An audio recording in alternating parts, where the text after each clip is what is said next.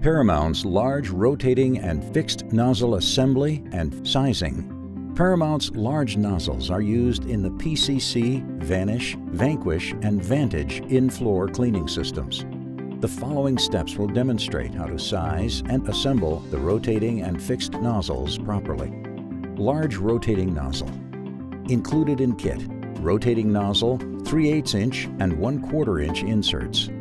The nozzle comes assembled from the factory and is labeled rotating. A half-inch insert is installed on the closed side and the other side is a 3 quarter inch opening with no insert.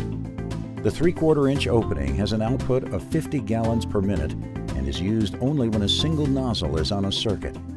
The half-inch insert has an output of 25 gallons per minute and used when there is more than one nozzle on a floor circuit. The 3 8 inch insert has an output of 13 gallons per minute. Quarter inch insert has an output of 7 gallons per minute. These inserts are used if the nozzle is installed on a bench or step. Changing the size of the insert. To change the nozzle from 3 4 inch opening to the opening with a half inch insert, it is important to note there is an escutcheon in the center of the top of the nozzle that can come loose and fall out. If the escutcheon does happen to fall out of the nozzle, make sure it is put back in the nozzle prior to assembling.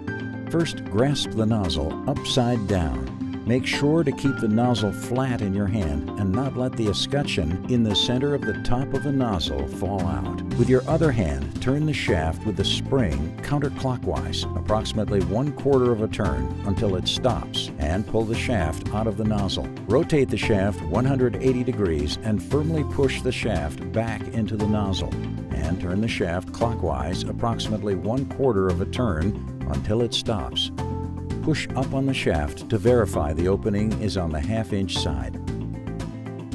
If you are replacing the half-inch insert with either the 3 8 inch or 1 4 inch insert, remove the shaft and lift the retainer up and down until the nozzle comes out of the retainer, making sure the escutcheon in the center of the top of the nozzle does not fall out. Remove the half-inch insert from the nozzle by pushing the insert from the outside. Replace it with the desired insert. Align the pins on the nozzle with the slots in the retainer and push the nozzle into the retainer and replace the shaft. Push up on the shaft to verify the opening is on the side with the correct insert.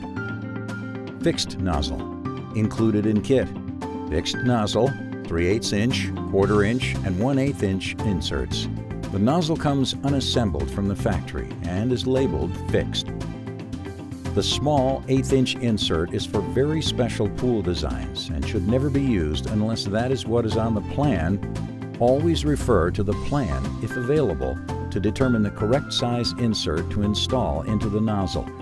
Hold the nozzle upside down gripping the bottom quarter of the nozzle so it will not turn. Place the retainer over the nozzle. Insert the shaft, making sure the opening in the shaft is about 90 degrees counterclockwise of the desired opening in the nozzle. Firmly press the shaft down until it is fully seated in the nozzle. Turn the shaft clockwise while holding the lower portion of the nozzle until it locks in place. Push up on the shaft to verify the opening is on the side with the correct insert. If you need further assistance, contact Paramount Technical Support at 1 800 621 5886.